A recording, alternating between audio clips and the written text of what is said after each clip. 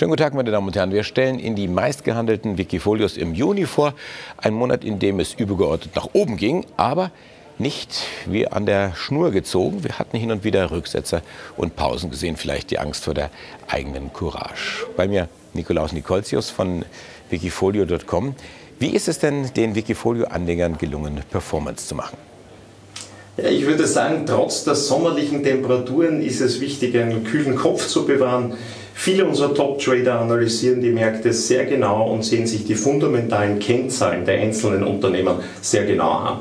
Und das hilft dann am Ende des Tages auch in einem nicht gerade leichten Marktumfeld noch eine Performance erzielen zu können. Der Juni war ein relativ starker Monat, ein ungewöhnlich starker Monat. Mit welcher Strategie sind denn die Wikifolio-Anleger hier am besten gefahren? Wenn wir einen Blick auf unsere Anlegerlieblinge werfen, so konnte der Platz 1 auch im abgelaufenen Monat Juni überzeugen. Das Wikifolio chancenübergreifend von André Tomaschke beeindruckt durch eine durchwegs starke Performance bei überschaubaren Kursschwankungen. So wurde im Juni schon wieder ein neuer Rekordstand erreicht.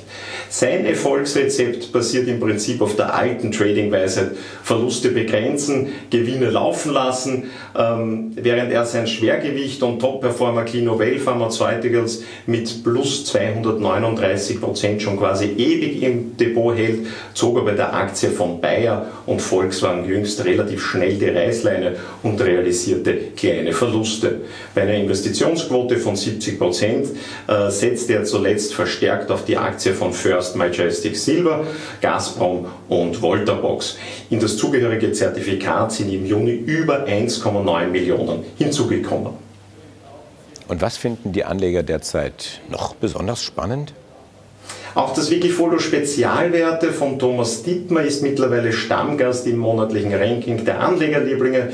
Und auch hier dürfte die Investoren vor allem der über einen sehr langen Zeitraum hinweg selten zu findende Mix aus einer überdurchschnittlich guten Performance und einem relativ geringen maximalen Drawdown überzeugen. Ähm, selbst der Kurseinbruch an den Aktienmärkten Ende 2018 hatte keine nennenswerte Spuren hinterlassen.